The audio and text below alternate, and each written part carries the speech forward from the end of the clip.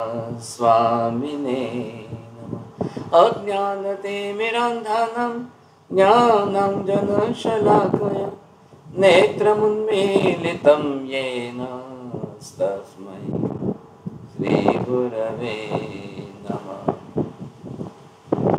मथिन वंदनी Maharaj ji summary for class Sunday April third Maharaj ji ने continue किया था परिश्रय से, सोलवा परिश्रय है रोग परिश्रय जहाँ वेदना, पीड़ा में भी शांत रहना है तृण स्पर्श परिश्रय जहाँ ज़मीन पर सोना, कुछ चुपना संथारे पर कैसे नींद आए एटीन, मेल परिश्रह, शरीर का सजाना साधु जीवन में नहीं होता है खुद के केश लोशन भी करते हैं। नाइनटीन जो है, सत्कार परिश्रह अहंकार से आत्मा को बचाना है। प्रज्ञा प्रज्ञा दूसरे की प्रशंसा से जलसी नहीं करनी है, सद्भाव रखना है हमेशा। अज्ञान परिश्रह ज्ञान चढ़ता नहीं, ज्ञान का, सक्षम का परिश्रह करना। सम्यक्त्व परिश्रह समक दर्शन होकर भी धर्म के प्रति विपरीत भाव नहीं रखना है। ये परिश्रह संवर धर्म का स्वरूप है और आश्रव से बचने का स्वरूप ही है। महाराज जी ने थोड़ा सा दस प्रकार के यति धर्म का भी शुरुआत की थी।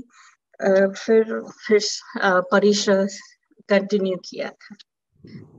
मते वंदन महाराज सर हाँ जी धर्म हाँ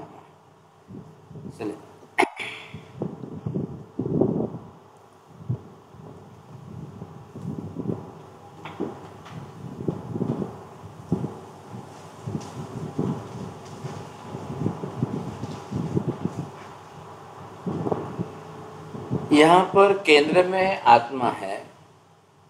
आत्मा को आश्रव से बचाना है।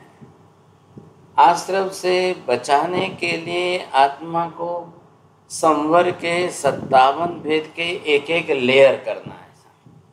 जैसे एक एक एक एक लेयर हम कर देंगे तो चारों तरफ़ से आश्रम का अंदर आना ही बंद हो जाएगा। ये विशेषता आपको ख्याल आ रही है यहाँ पर। तो इसके अंदर आप देखिए कि कौन कौन से लेयर कैसे करने हैं।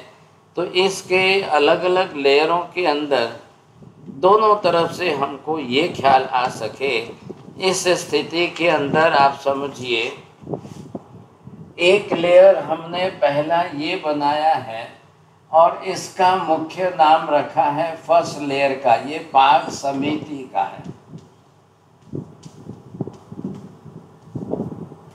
अब चारों तरफ़ से ये जीव पाँच समितियों का पालन करें। तो ये पाँचों समिति पालन करने से आत्मा के अंदर आश्रमों का, आने का दरवाज़ा बंद हो रहा है। ये मैंने जो डायग्राम बनाया एक एक लेयर का बना रहा अब इधर जो है, तीन गुप्ती है। ये दूसरा लेयर है। अब जिस तरह से आत्मा अपने आप में प्रयत्न करके मनोगुप्ति वचन गुप्ति काय गुप्ति तो ये जो है, अब ये तीन गुप्ति से भी हम एक लेयर बना करके आत्मा में आने वाले आश्रव को रोक सकते हैं। अब इसी तरह से हमने ये तीसरा लेयर जो बनाया वो था बाईस प्रकार के परिसह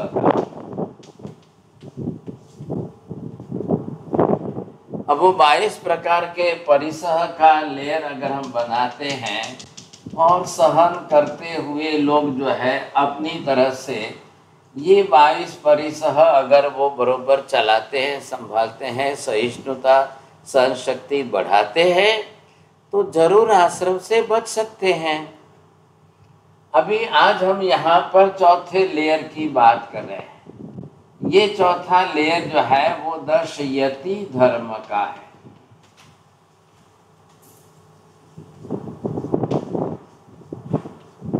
अब ये दस यति धर्म जो अलग अलग है, अब इनका आप ये देखिए कि क्या प्रकार कैसे हैं साहब। आज ये समझेंगे हम। तो एक एक लेयर अब इतने तरीके से आप एक लेयर दूसरा लेयर तीसरा लेयर चौथा लेयर उसको कहते ना कि भाई, रामचंद्र जी जा रहे थे, वो चले गए और उसके बाद में लक्ष्मण जी को जाने की नौबत आई। तो सीता को केंद्र में बैठा करके चारों तरफ़ बाउंड्री बना दी। वैसे वहाँ तो लक्ष्मण का ब्रह्मचर्य, उनकी निष्ठा इतनी प्रबल थी, अपने हाथों से मिट्टी में खींच करके रेखा बनाई। और सीता जी को, भाभी जी को विनंती की है कि आप इस सीमा रेखा को तोड़कर बाहर नहीं जाएँगे बाहर से आने वाला रावण, वो अंदर प्रवेश कर नहीं सका। वो अंदर आ ही नहीं सकता था, जैसे पैर रखने जाता था। पटाख से उसी लक्ष्मण रेखा से अग्नि निकलती थी, आग झरती थी। ऐसी स्थिति हो चुकी थी। तो हम यहाँ पर क्या कर रहे हैं?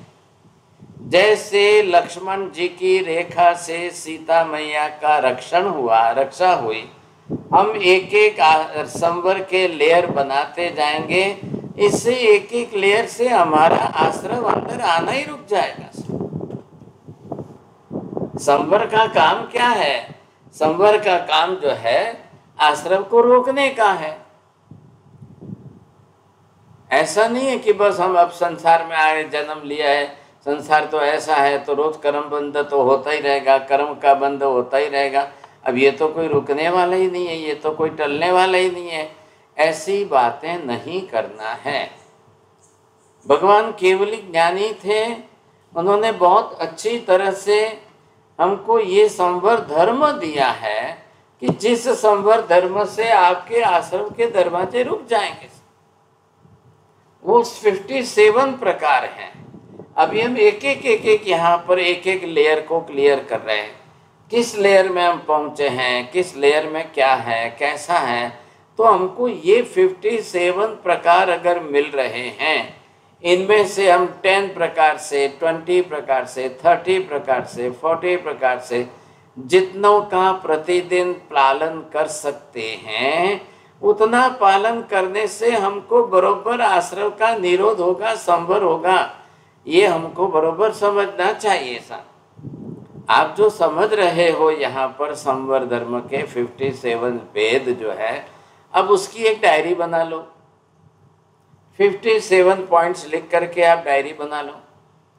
रात को सोने के पहले वो पूरा लिस्ट सामने देकर right wrong right wrong right wrong right wrong करते जाइए। तो डे टू डे डायरी के अंदर एवरी डे आज की तारीख, आज का वार। आज की तारीख वार में मैंने 57 में से कौन सा किया है? राइट करो प्लस करो राइट करो प्लस करो। आज कौन सा नहीं किया है तो उसकी जगह माइनस करो रॉन्ग करो माइनस करो रॉन्ग करो माइनस करो। तो एवरी डे हमारे 57 का चार्ट हमारे सामने है। उधर 42 प्रकार के आश्रम आपके सामने हैं, जिसकी स्टडी हमने कर ली है। और 42 आश्रम के भेद रख कर के सामने 57 संवर के भेद रख कर के अब सामने बरोबर क्लियर करिए। ये आश्रम हुआ है, ये संवर हुआ है, ये आश्रम का पालन हुआ है आज। सामने संवर का पालन हुआ है कि नहीं हुआ है? बरोबर हम रोज का अगर बरोबर एक पर्सनल डायरी बनाकर मैच करने लग जाए तो बरोबर सेटिंग हो जाएगा। प्रतिदिन का ख्याल आ जाए। सब समझ सकेंगे, अच्छी तरह से समझ तो समझने का पर्पज तो यही है ना। उद्देश्य हमारा जो है वो ये है कि अगर ये समझ करके हम अपनी लाइफ में कोई सुधारना नहीं कर सकेंगे तो कुछ भी नहीं होगा। बात ये है। तो 57 प्रकार के अंदर, अब जो हम समझने की कोशिश कर रहे हैं, इसके अंदर ये है दश यति धर्म। अब क्या है यति धर्म मतलब क्या है? आपने शब्द तो अच्छी तरह से सुना है, समझा है, देखा भी है, प्रयत्न तो हम करते ही, वैसे भी रोज जो है तो हमको ये ख्याल आता है, यत्न। इसी से बना है शब्द प्रयत्न। हम कौन सा यत्न, प्रयत्न? मोक्ष की दिशा में आत्मा को ले जाने के लिए क्या प्रयत्न कर रहे हैं? कैसा यत्न कर रहे हैं? आत्मा को जब मोक्ष की दिशा में ले जानी है तो हमारा लक्ष्य है। अब उस लक्ष्य को लेकर के हम अगर उस तरह से आगे बढ़ रहे हैं तो तो फिर हो जाएगा। The aim is of that to achieve the salvation तो वो लक्ष्य आपने बनाया है और उस लक्ष्य को बनाकर अब आप आत्मा को उस दिशा में एक एक कदम आगे ले जा रहे हो तो वो आपको यहाँ से एक एक एक एक लेयर जो है, अब आपको ये आगे चढ़ने के लिए सब ये प्रयत्न करना है। अब इस प्रयत्न करने में आपको ये जो दस प्रकार के यति धर्म यत्न करने योग्य धर्म। आत्मा के गुण है और आत्मा के गुणों को बाहर आचरण में लाना यही आत्मा धर्म है। बोलो चंद्रेश भाई बोल सो।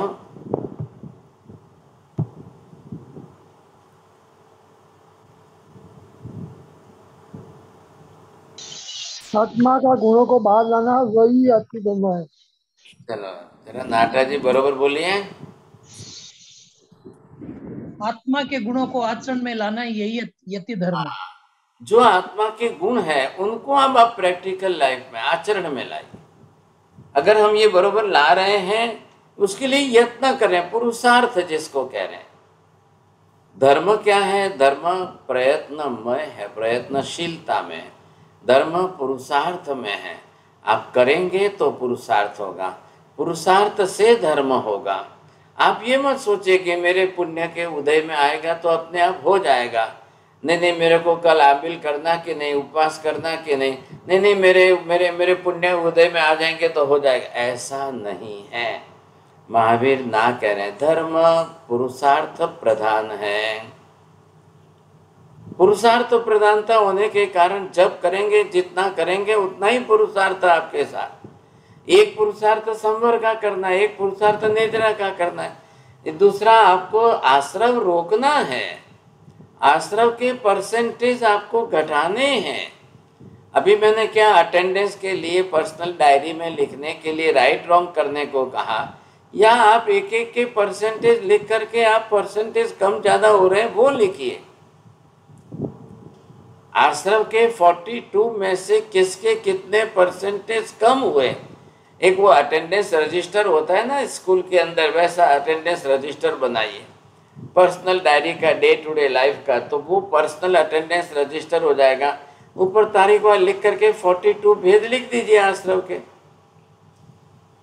अब सामने आपको जो है, सामने परसेंटेज लिखते हुए राइट रॉन्ग करते हुए आगे बढ़िए। तब जा कर के बात बैठेगी, नहीं तो नहीं बैठेगी। ठीक उसके सामने आश्रम आश्रम का लिखा? अब उसके सामने आप जो है, संवर के लिखिए। संवर के इन 57 में से मैंने किसका आचरण किया? कितने का आचरण किया? क्यों? अब ये धर्म दर्शन की क्लास में श्रावक जीवन की दिशा में हम चल रहे हैं ना? अब साधु भी हो या श्रावक जीवन के? हमारे लिए, दोनों के लिए धर्म तो एक ही बताया भगवान ने। साधु के लिए श्रावक के लिए। धर्म एक ही है धर्म का प्रक, धर्म के प्रकार एक ही है मर्यादा कम ज़्यादा है बस। परसेंटेज जो है वो कम ज़्यादा है। बाकी कोई फ़र्क नहीं है कुछ भी नहीं है। ये हमको समझ लेना है पहले। तो यहाँ पर आपने देखा एक लेयर हमने पहला लेयर किया है। पाँच समितियों का पालन कितने प्रतिशत हम करते हैं? तीन गुप्ती मन वचन काया के योगों को गुप्त रखना ये गुप्ती है।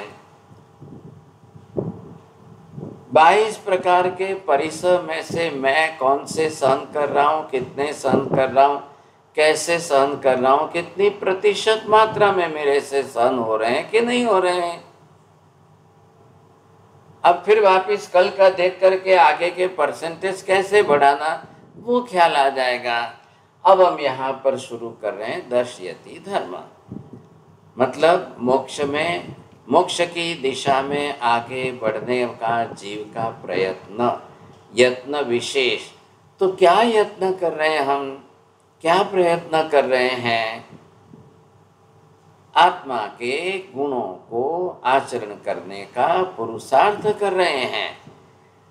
वो यहाँ यहाँ पर अलग अलग दस आत्मा के स्पेशल गुणों को चुन करके एक एक दिन अगर उसकी प्रैक्टिस की जाए तो दश लक्षण पर्व हो गया। दिगंबर संप्रदाय के अंदर पर्यूषण मतलब उसका नाम दिया है दश लक्षण पर्व। तो उन्होंने दस दिन की बात की। वो चौथ से लेकर चौदस तक चलते हैं। उन्होंने वहाँ पर एक ही बात की है, ये आत्म पर्व आत्मलक्षी पर्व है पर्यूषण जो है आत्म कल्याणकारी पर्व है। आत्मा के ऊपर बंधे हुए कर्मों की निजना करनी है और नए कर्म न बंधे इसका ध्यान रखना है। तो दस लक्षण, दस आत्मा के स्पेशल गुणों को चुन करके, अब आप कितने उसको प्रैक्टिकल में लाते हो? तो इधर क्या होगा? एक तरफ़ संवर होगा तो नया आश्रम रुक जाएगा। और दूसरी तरफ़ कर्म की क्षय निद्रा होगी तो आत्मा के गुण बढ़ने लग जाएँगे। अब क्या है कि धर्म तो भगवान ने बताया गुण लक्ष्य और हमने उसको सोशल लेवल पर समाज के सामाजिक स्तर पर ला करके सामाजिक रंग दे दिया। आठ दिन का उपवास करते हैं, अट्ठाई करते हैं लेकिन फिर वो उस अट्ठाई का रंग ऐसा दिया है पब्लिसिटी प्रचार में, और सब आना जाना लेना देना इतना व्यवहार बढ़ गया उसके पीछे कि जो है आठ दिनों की अट्ठाईस जो नेजरा करके कर्म क्षय कराने का प्रमाण बढ़ाने वाली थी, अब उसके परसेंटेज घट गए। व्यवहार प्रधान बना दिया हमने तो ज़्यादा व्यवहार प्रधानता आ गई उसके अंदर, बस बात ये हो गई और कुछ। अब यहाँ पर ये जो हम देख रहे हैं दश यति धर्म तो क्या है ये? ये सब आत्मा के मूलभूत गुण है। बस और कुछ नहीं है। अब जो आत्मा के मूलभूत गुण है, ये हम देख रहे हैं यहाँ पर।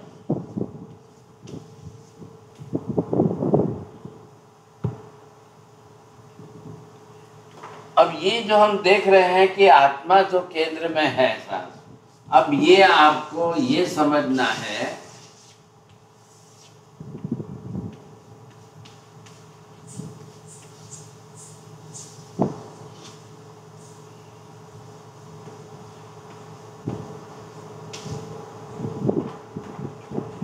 जिस प्रकार से जैसे हमको यहाँ आत्मा गुणों का, अब आत्मा के गुण तो आप समझ रहे हैं, सबकी अनंत है, लेकिन इन अनंत के सामने हमको जिस प्रकार के जिन गुणों की बहुत ज़्यादा व्यवहारिक जीवन में आवश्यकता जो है तो वो अगर आप ये देखने जाए तो सबसे पहला हमारा व्यवहार के अंदर जो आवश्यक गुण है, वो है क्षमा का।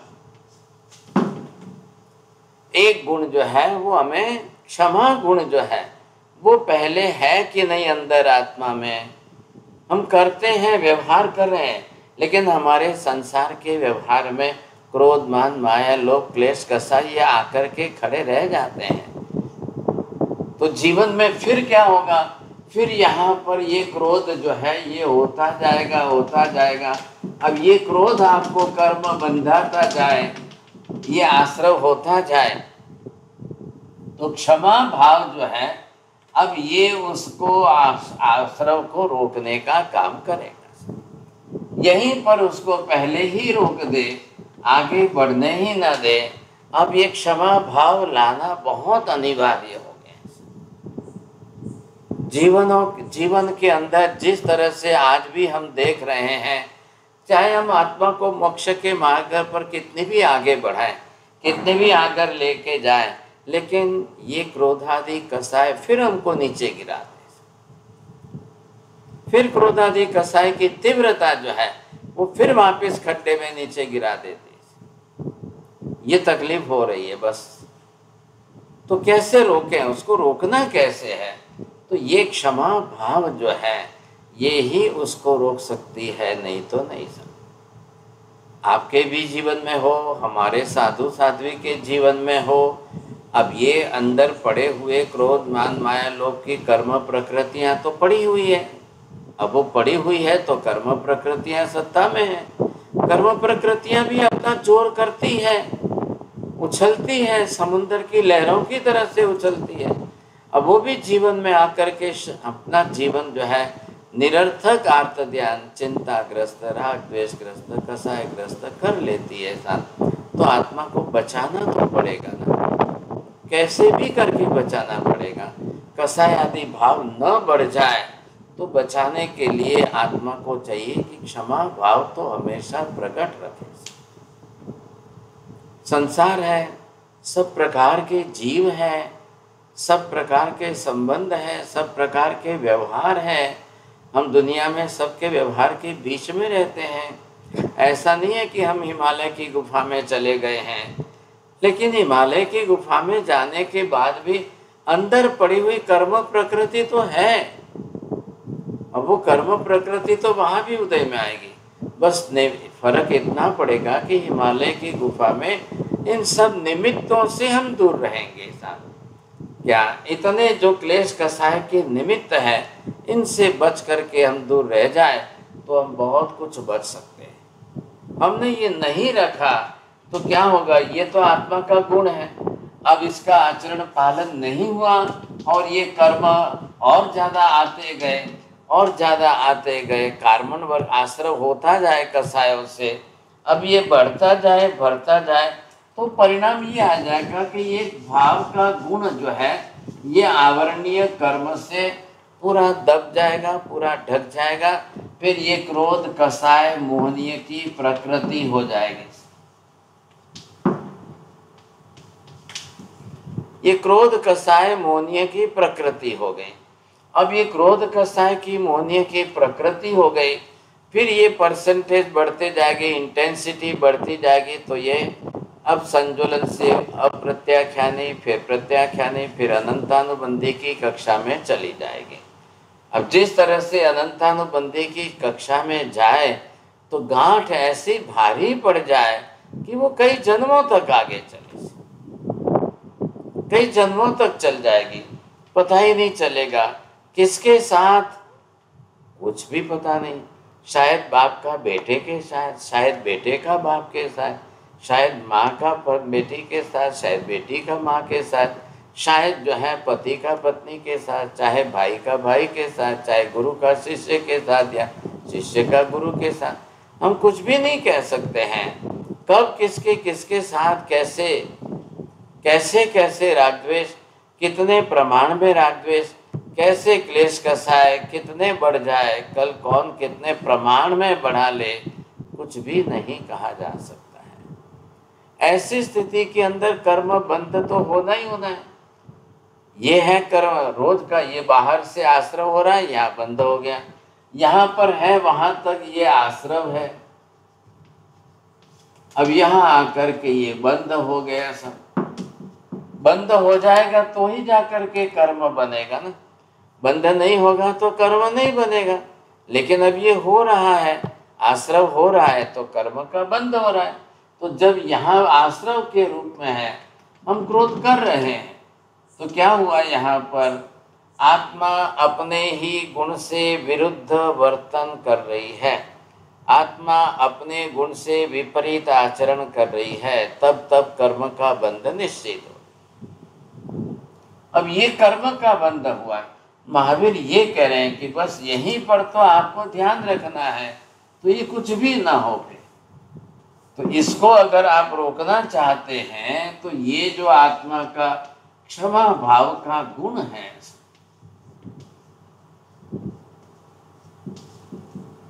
अब इसको बढ़ाते जाइए आप, इसको बढ़ाते जाइए तो क्या होगा? जब ये बढ़ जाएँगे, आप अपनी तरह से तो सामने बाहर से आने वाला आश्रम रुक जाएगा।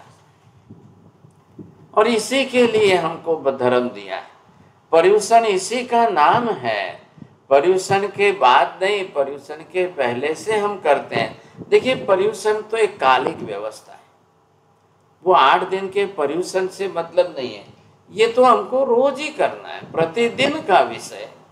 ये प्रतिदिन अगर हमारे जीवन में इसी तरह से चलता जाए, इसी तरह से चलता जाए तो कर्म बंध तो होगा फिर रुकेंगे कैसे? रुकना है, आत्मा को कैसे रोकना है? अगर ये रुका नहीं तो रोज का है। संवर धर्म आश्रम को रोकने के लिए है। अब प्रतिदिन हम क्षमा भाव में रहते हैं क्या? आत्मा जब जब अपने स्वगुण में, स्वगुण के अंदर मस्त रहेगी, अपने गुणों के अंदर रममान करे, स्वगुण के रममान अंदर से रहे तो निश्चित रूप से कर्म बंध रुकता है, आश्रव रुकता है, संवर होता है, निद्रा भी होती अब हुआ क्या है कि इसको पर्यूषण का नाम देकर या दस लक्षण पर्व का नाम देकर एक व्यवहार कर लिया गया तो बस उसी दिन की जरूरियात है। हम समझ गए कि भाई उसी दिन करना है। पर्यूषण आवे तब करना है। जी नहीं साहब। पर्यूषण के साथ धर्म को जोड़ने के बजाय जीवन में के प्रतिदिन जोड़ना है। क्योंकि आश्रम होगा और कर्म का बंद होगा, उसको कोई दिन से, रात से, समय से कोई मतलब नहीं है। पर्व दिन कोई कर्म नहीं बनते हैं, ऐसा नहीं है। आज के जैसे चालू दिनों के अंदर कर्म बंध नहीं होता है या कम होता है, दिन रात को कोई संबंध नहीं है। राग द्वेष कसाय जो निमित्त है, वो कार्बन वर्गणा को खींचने वाली है। कोई भी हो, किसी भी प्रकार का जीवन जीते हो, कोई अछूता नहीं रहता है हम। साधु संत हम करेंगे तो हमको भी कर्म बंद होना है। कोई भी करेगा तो कर्म बंद तो होना ही होना है ऐसा। इसलिए भगवान ने कहा कि ये तो बिल्कुल दश यति धर्म। हुआ क्या है? यति शब्द आने से आप लोग सब क्या समझ ये तो साधु संतों का धर्म है। नहीं नहीं, ये तो साधु संतों के लिए। हमको कहाँ कुछ करना है? हमारे लिए कुछ नहीं करना है। ऐसा नहीं है। हमारे लिए कुछ नहीं है। ऐसा मत सोचिए समझे कि नहीं। तो ये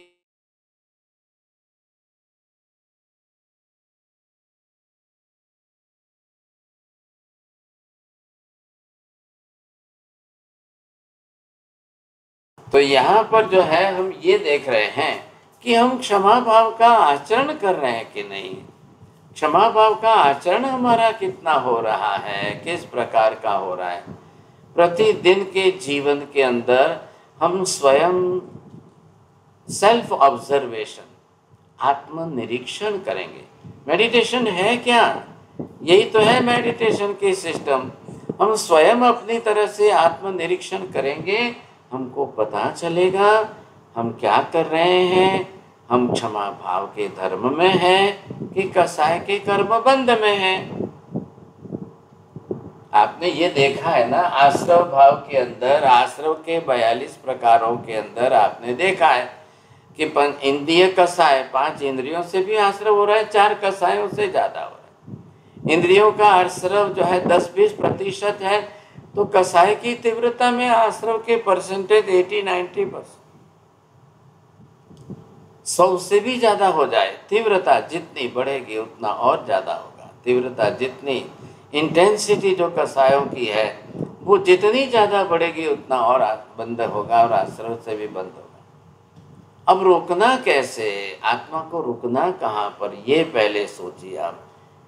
ये रुकने के लिए यहाँ पर जो है, भगवान ने कहा कि आप कितने टाइम क्षमा भाव के अंदर रहते हो? खामे में, सर्व जीवे, सर्वे जीवा कमंतु में, मित्ति में सब सर्वभूएसु वेरम मज्ज न किणई मैं सभी जीवों को क्षमाता क्षमाता हूँ। सभी जीव मुझे भी क्षमा परे करें। मित्ति में सब मेरी सबके साथ मैत्री भाव है। मित्रता का प्रेम का स्नेह जोड़िए और रोज बोलिए वैरम मज्ज न किणे, मेरा किसी के साथ कोई वैर वही मनुष्य नहीं है। ये बोल के सोना है, ये उठते ही बोलना है। ये हमारी अंतर प्रेयर इंटरनल प्रेयर होनी चाहिए। बिल्कुल आत्म भाव के अंदर प्रेम प्रार्थना के रूप में, क्योंकि संसार बहुत बड़ा है। संसार के अंदर सैकड़ों लोग हैं। तो अब किसके साथ कैसा रागद्वेष हो, पता ही नहीं चलेगा, समझे कि नहीं? ये हमको बचना तो होगा कि नहीं? अनंत काल बीत गया है, अनंत जन्म बीत गए हैं। परमात्मा के शासन में आकर अभी तक हमने ये किया नहीं है ऐसा। बोलना तो मेरे लिए भी आसान है। मैं समझा रहा हूँ, सिखा रहा हूँ तो मेरे लिए भी बोलना आसान है। लेकिन मेरी लाइफ में भी प्रैक्टिकल मुझे क्षमा भाव रखना बहुत डिफ़िकल्ट जा रहा है। बहुत डिफ़िकल्ट क्योंकि अनादिकाल के क्रोधादि कसायों के संस्कार पड़े हुए हैं। हमको उसमें से बाहर निकल करके कसाय भाव से अलिप्त होकर के रहना है। नहीं तो ये चलता ही रहेगा, रुकेगा ही नहीं, कभी नहीं रुकेगा जीवन में। इस तरह से जो है, यहाँ पर हमने ये देखा है, एक पुरुषार्थ है, क्योंकि ये जो धर्म है आत्म गुणों का तो आत्म गुणों का धर्म जो है, ये पुरुषार्थ के रूप में है।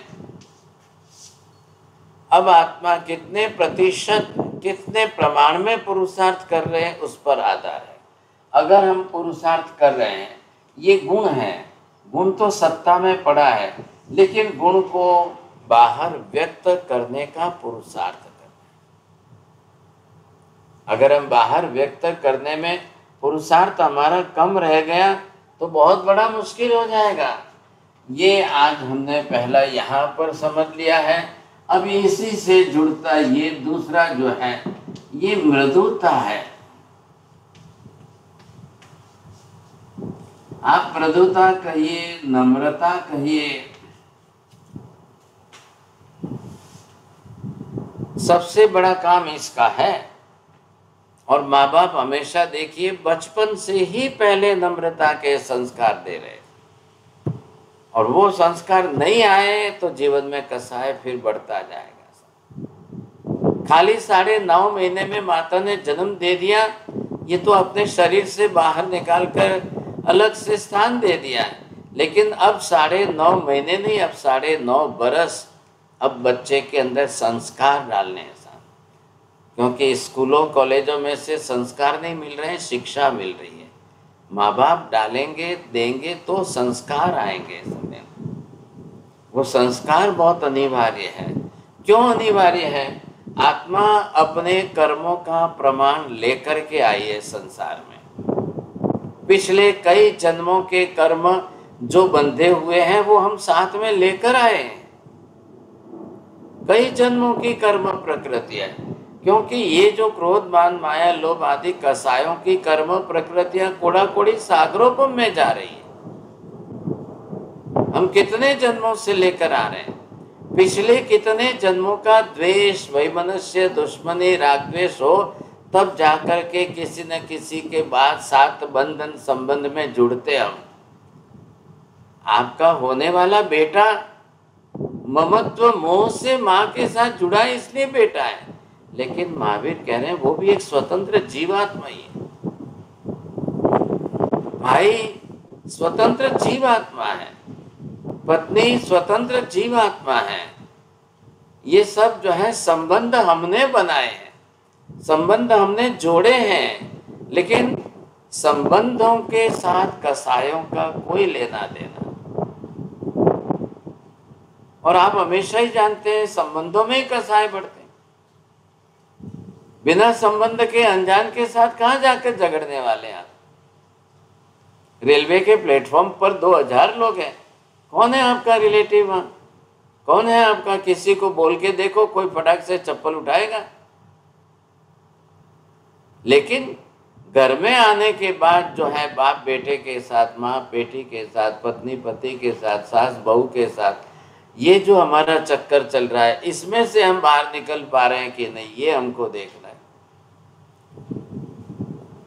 तो वहाँ अगर भगवान कह रहे हैं कि भाई वो जीव जो कर्म प्रकृतियाँ जितने प्रमाण में लेकर आया है, अगर वो अपने गुणों का आचरण करे तो आज भी उस कर्म की प्रकृति के उदय को हम रोक सकते हैं। आप ये मत सोचिए कि उदय को रोका नहीं जा सकता है। एक निकाचित कर्म की बात ही एक्सेप्शन है। और निकाचित कर्म पाँच दस प्रतिशत ही होते हैं।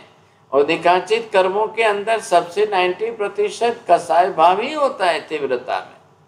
बिना कसायों की तीव्रता के कोई कर्म निकाचित होता ही नहीं है। बोलिए योगी बहन बोलिए नहीं। आज आपने विंडो खोली तो है, बहुत धन्यवाद आप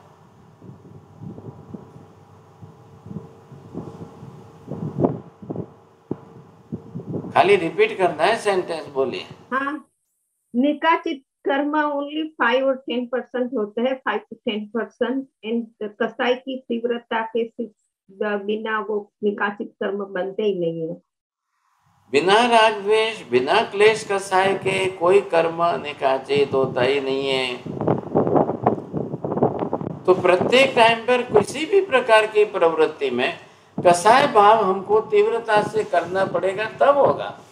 लेकिन अगर हम यहाँ पर मृदुता, नम्रता के गुण का आचरण कर लेते हैं तो क्रोध कसाय से बच जाएँगे। नौबती नहीं आने दें। सबसे बड़ी बात ये, नौबती नहीं आने दें। क्या करेंगे साहब बोलिए। कोई पूर्व जन्म के द्वेष भाव वाला आपके साथ संबंध में जुड़ गया है और आपको उसके साथ जीवन बिताना पड़ रहा है। बोलिए, अब क्या करना? संबंध संबंध की जगह पर है, स्वभाव स्वभाव की जगह पर है। कितनी बड़ी समस्या है। ये है कर्म की सजा। इसीलिए लोग क्या करते हैं? डाइवोर्स लेकर के अलग हो जाओ भाई। संसार में लोगों को यही रास्ता लगता है ना। लोग क्लेश, कसायों से परेशान होकर के वो सोचते हैं, चलो चलो चलो डाइवोर्स ले लो, जल्दी छूटा हो जाओ, जल्दी। आज अगर डाइवोर्स के केसों की आप साइकोलॉजिकल सर्वे करें स्टडी करें तो आपको मात्र क्रोधमान माया, लोभ रागद्वेश के सिवाय कुछ मिलेगा ही नहीं। सबके जीवन में यही भरा पड़ा है। अब कहाँ रुकना, कहाँ जीव को रुकना, कहाँ ये सोचिए आप। ऐसी परिस्थिति के अंदर भगवान कह रहे हैं कि आप पहले से ही अपने मूलभूत स्वभाव में नम्रता, मृदुता, क्षमा भाव आप रखो तो कितना फ़ायदा होगा? देखिए, पानी हमेशा प्राकृतिक नेचुरल रूप से अपने आप में शीतल रहता है। आप उसको लेकर अग्नि पर तपाओ तो ही गर्म होगा, नहीं तो नहीं होगा। सूर्य के प्रकाश में तेज गर्मी के अंदर पानी गर्म होगा। नहीं तो नहीं होगा, लेकिन वो गर्म होने के बाद भी तुरंत थोड़ी देर में ठंडा हो जाएगा। आप उसको एक घंटा तक गर्म करते रहिए, गर्म करते रहिए, लेकिन जैसे ही आप बाहर उतारोगे तो 10-20 मिनट में फिर ठंडा हो जाएगा।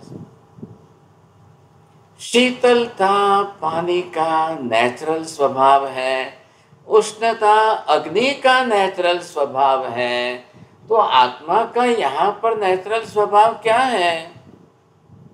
क्षमा भाव है, मृदुता है, नम्रता है, सरलता है, संतोष है। ये सारे गुण आत्मा के अपने नेचुरल स्वभाव और हुआ क्या है कि हम संसार की प्रवृत्ति के अंदर अपने आत्मा के मूलभूत स्वभाव में ही नहीं रहते हम विभाव दशा में विकृत भाव में, विपरीत भाव में रहते हैं। इसलिए हमारी तकलीफ़ सबसे ज़्यादा ये बढ़ रही इन विपरीत भावों में आते हैं तो विभाव दशा के अंदर विकृति बढ़ेगी कर्म बंद बढ़ता जाएगा।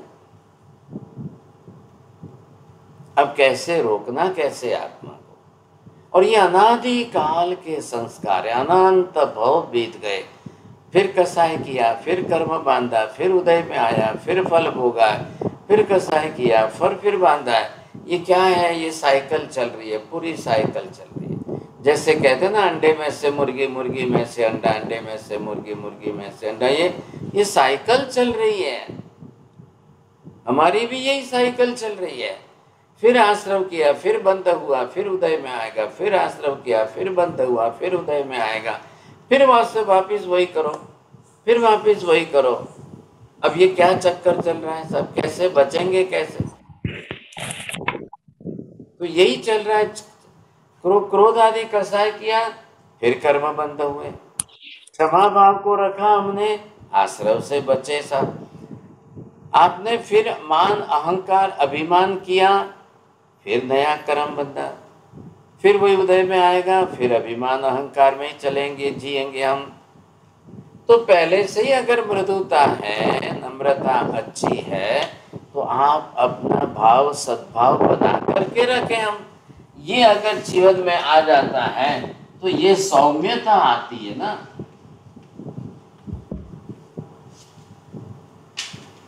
जैसे आपने देखा चंड कौशिक ने डंक देने के बाद जब महावीर के चेहरे पर देखा। महावीर के चेहरे की इतनी सौम्य, शांत चित्राकृति देखी। जो सौम्य चित्राकृति थी। भगवान का इतना शांत, इतना सौम्य चेहरा था, इतना सौम्य था, वो चंड कौशिक जैसे जीवात्मा को झकझोर गई। और भगवान के शब्द भी मधुर मिल गए, चंड कौशिक, बुझ बुझ। शांत हो शांत हो। आप यहाँ पर थोड़े नाम अलग अलग दीजिए। आप इसको क्षमा भाव कहते हैं, इसको शांति का भाव कहिए ना। एकदम आत्मा शांत स्वभाव रहे। सरोवर का पानी इतना शांत होता है। आपने एक कंकड़ डाला तो पानी में कमल पैदा हो गए।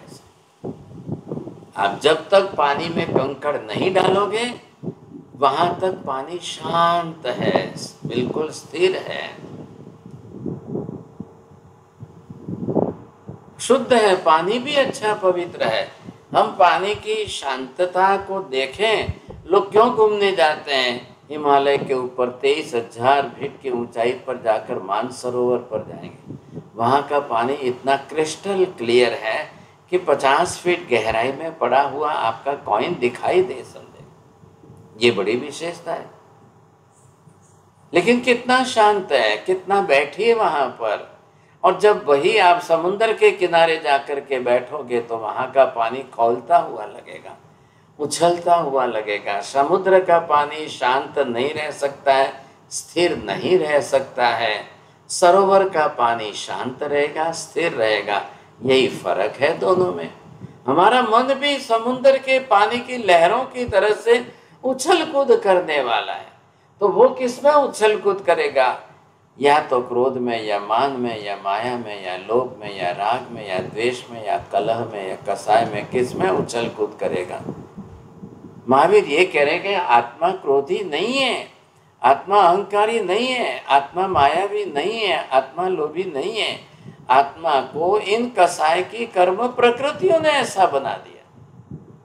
हमारी बार हमारी बार छाप हो गई है साहब। हमारी पहचान ये हो गई है। लोग पहचानते हैं हमको। लोग जानते हैं हमको, अरे भाई साहब, रहने दो ना, इनका स्वभाव तो ऐसा है। रहने दो रहने दो, नहीं नहीं नहीं नहीं, इनका स्वभाव तो ऐसा है। अब उस छाप से वो प्रसिद्ध हो गए हैं। अब रुकना कैसे?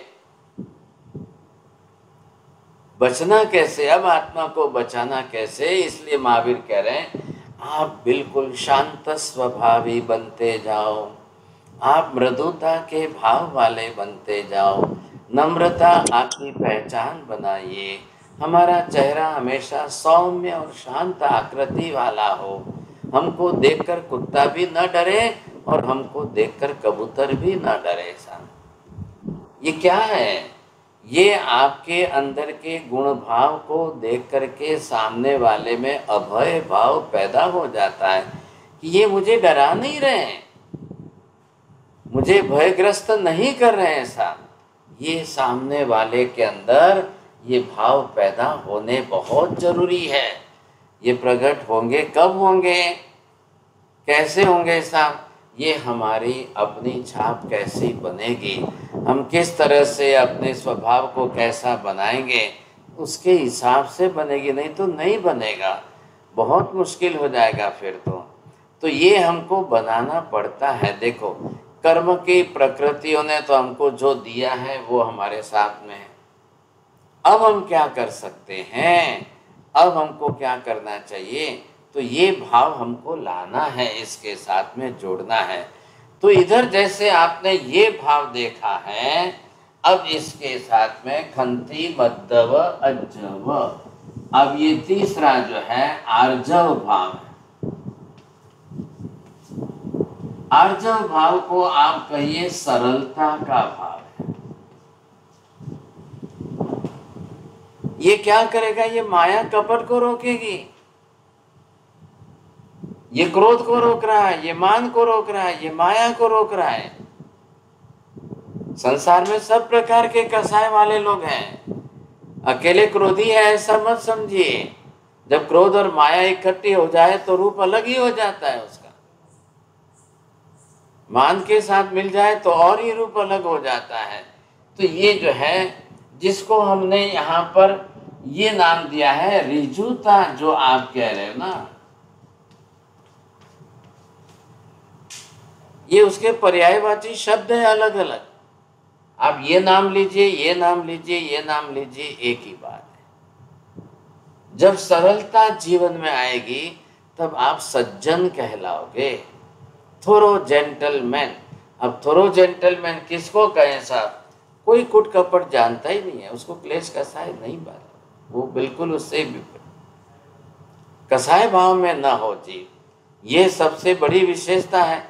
अगर यही चलता रहेगा तो फिर कर्म बांधेंगे। फिर तैयारी है ना? आश्रव भाव तो चारों तरफ़ से तैयार है। हमारी करने की देरी है बस, और अंदर कर्म भरा हुआ है। लेकिन एक बात ध्यान में समझ लीजिए, द्रव्यानुयोग के मूल में आपने क्या समझा है?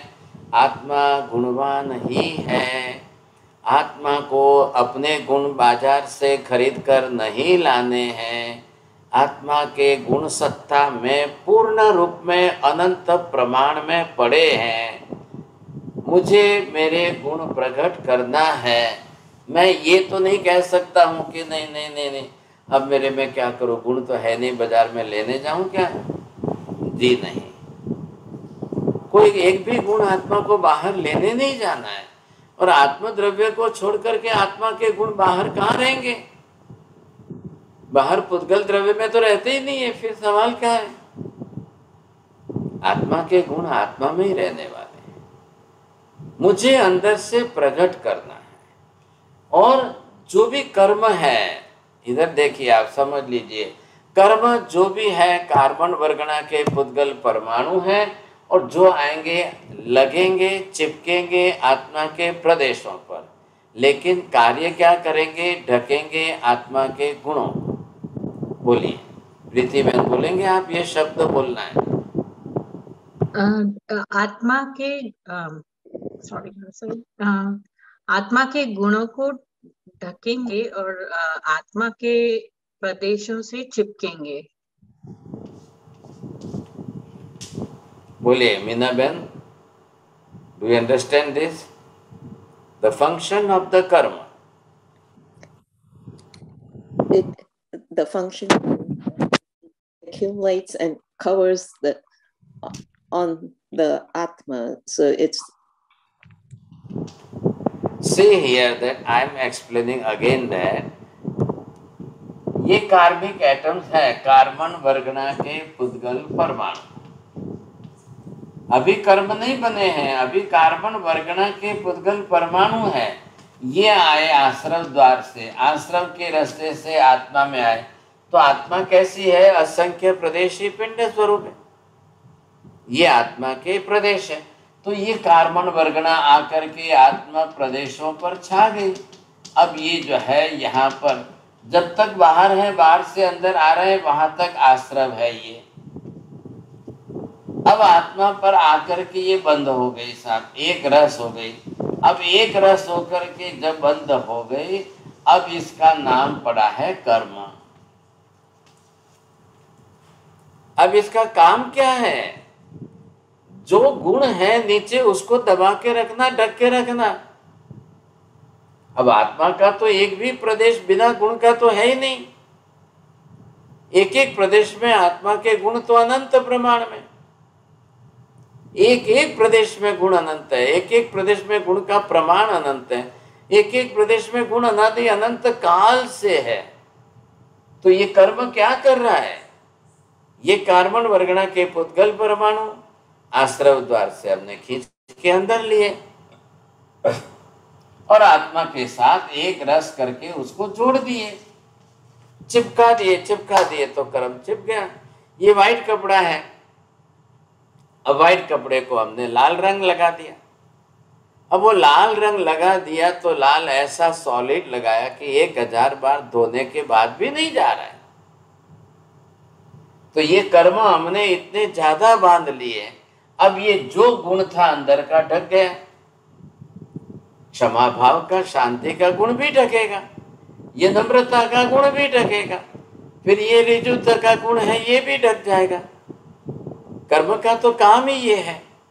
कर्म तो आत्मा के गुण को दबाएँगे, कर्म आत्मा के गुणों को ढकेंगे, कर्म आत्मा के गुणों को विपरीत करेंगे, कर्म आत्मा के गुणों में विकृति लाएँगे, कर्म आत्मा के गुणों को अल्प प्रमाण में रखेंगे कटाते जाएँगे।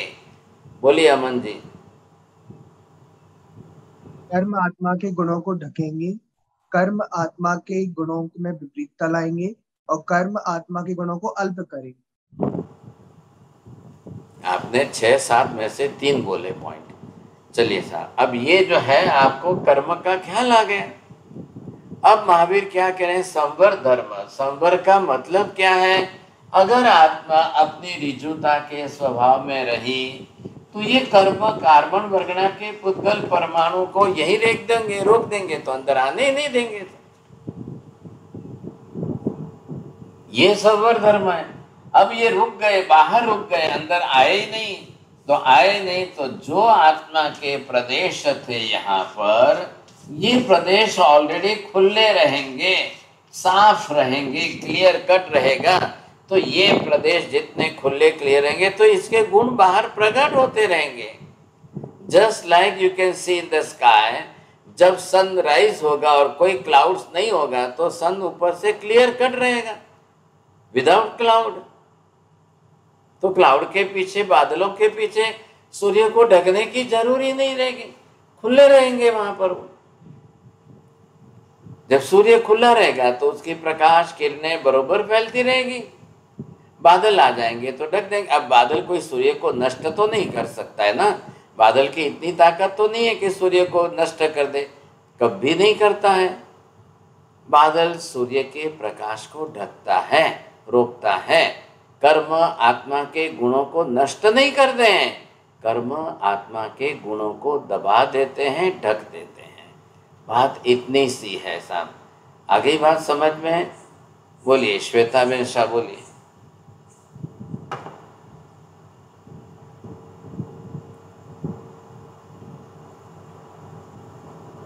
बोलना है? चलो नहीं।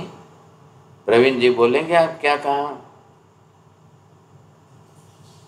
आत्मा के गुणों को दबाता है ढकाता है। एक वाक्य अधूरा क्यों छोड़ते हो फिर आप? ऐसा क्यों करते हो? बोलिए कानन बहन बोलिए। सर जैसे बादल सूर्य को नष्ट नहीं कर सकता वैसे ही कर्म आत्मा के गुणों को नष्ट नहीं करते, वह केवल उनको ढक देते हैं। बस, बात इतनी सी, ये पहले, अब द्रव्यानु योग का बेसिक प्रिंसिपल सीखने से हमको इतनी तो तसल्ली हो गई। कर्म आत्मा के गुण को नष्ट कभी कर ही नहीं सकते हैं। अब दबाते ज़रूर हैं, ढकते ज़रूर हैं। क्या विकृत करेंगे, विपरीत भाव लाएँगे, अल्प प्रमाण, जो सब कुछ करना है। तो महावीर ने कह रहा कि अपनी आत्मा के मुख्य शक्ति को पहचानो भाई। आत्मा के गुणों को आप प्रकट रखिए, आप कर्म के आवरण को बाहर ही रोक दीजिए। अंदर आएँगे ही नहीं तो गुण ढकेंगे ही नहीं सब। बहुत अच्छी बात हो गई समझे कि नहीं। चलिए साहब, समय ज़्यादा हो रहा है दो तीन मिनट है, किसी को प्रश्न पूछना है। एलसी जैन साहब, बोलिए जल्दी। महाराज साहब हमने कभी देखा है कि हमारे बहुत जो मित्र हैं या हमारे जान वाले हैं इन्हीं को तो गुस्सा आता ही नहीं है। और कई लोग हैं एकदम गुस्सा हो जाते हैं। तो ये प्रूव करता है कि उनके ऊपर उनका उनका स्वभाव है अच्छा है जिनको नहीं आता है ना उनकी अनुमोदना रोज करिए आप। ऐसे तो इतना है कि उनको गुस्सा करने भी अगर प्रवोक भी करो तो नहीं आता है उनको। अरे वाह बहुत अच्छी बात है। मेरे को तो आता है गुस्सा बोलो मैं कैसे करूँ? नहीं कई लोग हैं ऐसे जिनको गुस्सा पाँच परसेंट ही आता है बहुत कम आता है। बहुत धन्यवाद। मैं खूब उनकी अनुमोदना करता हूँ। बहुत बहुत धन्यवाद। ठीक है। हाँ जी बोलिए सुनीता नवीन भाई शाह बोलो। प्रणाम महाराज साहब आदमी एक बच्चे से क्रोध करता है बच्चे पर क्रोध आता है एक एक पिता को पि- बच्चे पर क्रोध आता है पर दूसरे बच्चे पर नहीं आता है। तो जो पिता के ऊपर जो कर्म के आवरण है, ऐसे अलग अलग कैसे हो सकते दो व्यक्ति के प्रति? नहीं नहीं, होते ना देखो, मैंने अभी क्या कहा आपको? रिलेशन है, आप मान रहे हो कि बच्चा है, दूसरा बच्चा है, लेकिन पूर्व जन्मों के संबंधों को बीच में लाइए। किस जीव के साथ कैसे हमारे राग द्वेष रहे थे पूर्व भव में? आज संबंध हो गया, वो बेटा हो गया, बच्चा हो गया, वो बात अलग है। लेकिन अपने अपने कर्म को वो साथ में लेकर के आया है। अब आप एक को एक ही करना है कि जिसके साथ क्रोध कसाय हो रहा है, उसके साथ प्रेम से, मिठास से व्यवहार करने की शुरुआत करिए। बस सीधी सी बात है और कुछ नहीं है। आपकी बात सही है, पर मेरे सवाल ऐसा इस बात में था कि एक ही पिता दो दो बच्चे के साथ अलग अलग व्यवहार करता है तो यह जो ये संवर की बात चलती है उसको कैसे समझे? मैं वही कह रहा हूँ ना एक ही पिता अपने दो बेटों के प्रति अलग अलग प्रकार के कर्म बंध लेकर के आए। अच्छा तो हाँ एक के साथ ये कर्म है दूसरे के साथ ये कर्म है तीसरे के साथ सबके साथ का जो कर्म बंध है वो अलग अलग लेकर के आए हैं हम। अब हमको समझ लेना है हम समझ पाए कि हमारे एक के साथ ऐसा व्यवहार है दूसरे के साथ ऐसा एक के साथ ऐसे राग द्वेष है दूसरे के साथ ऐसे राग द्वेष। अब हमको उसमें से कैसे आत्म गुणों का उपयोग करते व्यवहार करने से नए कर्म से तो बचेंगे। अब पिछले जन्म के तो है ही है वो तो हिसाब चुकते करना ही पड़ेगा। अब नए में कैसे बचें ये हमको फ़ायदा होगा। Sir okay thank you Rahul भाई बोलिए जल्दी करिए। साहब जी जैसे अगर किसी को क्रोध नहीं आता वो भी उसके कोई कर्म और का उदय के कारण होता है ऐसा? आप उल्टा क्यों बोल गए आप जानबूझकर उल्टा को बनाना क्या? ऐसा थोड़ी देखना जानकार होते हुए ऐसा बोलोगे तो फिर कैसे लगेगा? क्रोध नहीं आता है, वो पुरुषार्थ कर रहे हैं अपने गुण में रहने का, रोकने का कसाय को रोकने का, तब बचेंगे। मैंने पहले कहा है ना, ये क्या है? पुरुषार्थ है, पुण्य का उदय नहीं है। पुण्य का उदय न होने से या पुण्य का उदय होने से क्रोध में कोई फ़र्क नहीं पड़ता है। ये तो आत्मा स्वयं चलाकर पुरुषार्थ करे कि मुझे नहीं करना है तो होगा नहीं तो नहीं होगा। बोलो चंद्रेश भाई जल्दी बोलो। सर क्षमा भाव देने के बाद में भी कभी थोड़े समय में वापस वही हो जाता है ऐसा क्यों सर? तो होता ही है अब कर्म का क्षय नहीं हुआ है। कर्म की प्रकृति ओरिजिनल सत्ता में पड़ी है। क्षमा भाव हमने भाषा से शब्दों में कर लिया। गुणात्मक स्वरूप में नहीं हुआ है तो कर्म की प्रकृति पड़ी है सत्ता में तो फिर होगा, फिर चलता रहेगा तो दोबारा फिर करिए। तो भगवान ये कह रहे हैं कि आप इसी गुण भाव में रहो तो आवे ही नहीं ना कर्म बंध ना हो, ये बहुत अच्छा है। नमो हरियंताणम नमो सिद्धाणम नमो हरियाणम नमो वज्रायाणम नमो लोहे सवसाहुणम एसो पंच नमोकारो सव्वपावपणासनो मङ्गलाणं च सव्वेसिं परमं हवै मङ्गलम् मङ्गलं भगवान् वीरो मङ्गलं गौतम प्रभु। मङ्गलं स्थूलिभद्राद्या जैनधर्मोऽस्तु मङ्गलं चत्तारि मङ्गलं सिद्धा मङ्गलं साहुमङ्गलं केवली पन्नतो धम्मो मङ्गलं चत्तारि लोकोत्तमा, अरिहन्ता लोकोत्तमा, सिद्धा लोकोत्तमा, साहु लोकोत्तमा, केवली पन्नतो धम्मो लोकोत्तमो। चत्तारि शरणं पवजामि अरिहन्ते शरणं पवजामि सिद्धे शरणं पवजामि साहु शरणं पवजामि केवली धम्मं शरणं पवजामि सर्वमङ्गलमाङ्गल्यं सर्वकल्याणकारणं प्रधानं सर्वधर्माणां। जैनं जयति